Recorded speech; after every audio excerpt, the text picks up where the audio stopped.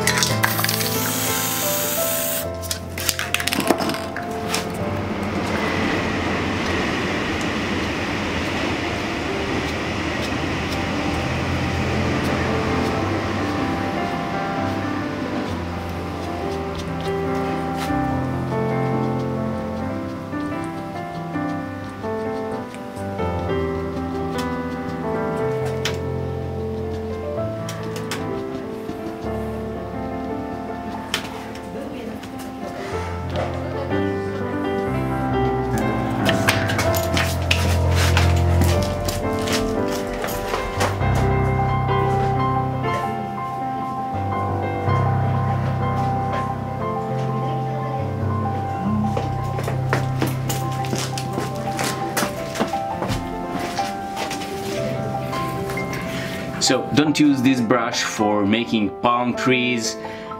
It's not that good. It is good, but it's uh, not that useful like this. It's much easier to make like palm trees with this brush.